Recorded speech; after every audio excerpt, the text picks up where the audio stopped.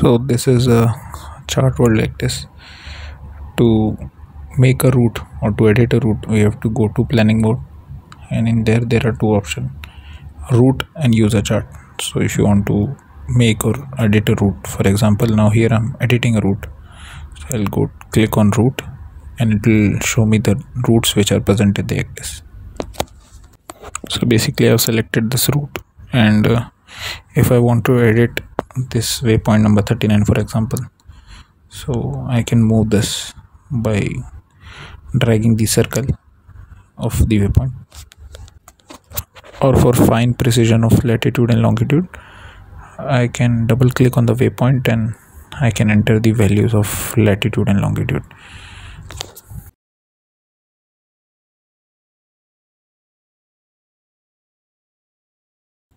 so afterward I will close this and I'm clicking on not save. So if I want to make a new route then same in planning mode.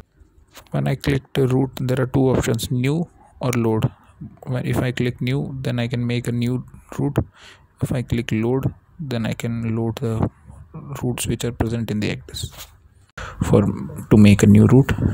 And either I can make the route by clicking on add waypoint if I click on add waypoint it will automatically put take me to position of 0 0 degree longitude latitude and 0 0 degree longitude. So I can edit and enter those values and we can directly move to the position where we want to move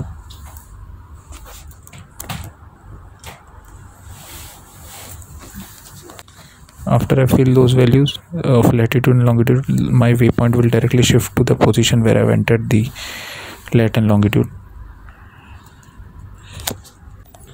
So now I'll close this and if I want to save I can click on save.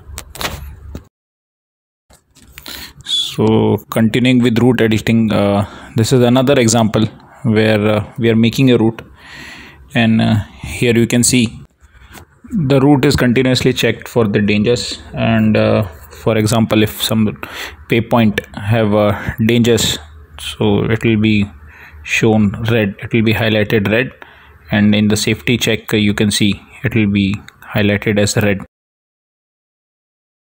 If you want to insert a waypoint so you can what you can do is between the two waypoints uh, on the chart you can right click and uh, select uh, insert waypoint. To have a detail about any specific waypoint there are two things there are two options actually. Either you can come in the route editing and there you can select uh, the waypoint and then you can check what are the settings of that uh, particular waypoint. Or you can uh, right click on that particular waypoint in the map. So in the map you can right click on the waypoint and select show details and it will show you the details of that particular waypoint. Same for entering the name of that uh, particular waypoint you can enter the name also to, after you click uh, show more details. Either you can do by that or uh, you can in the route editing column itself uh, in the left hand side where it shows the name of the waypoint for example like waypoint number 5 so there you can double click and you can change the name of the uh, waypoint also more detailed latitude and longitude also you can enter uh, from the show details property of that waypoint or you can enter the uh, latitude and longitude of a particular waypoint on the route editing column itself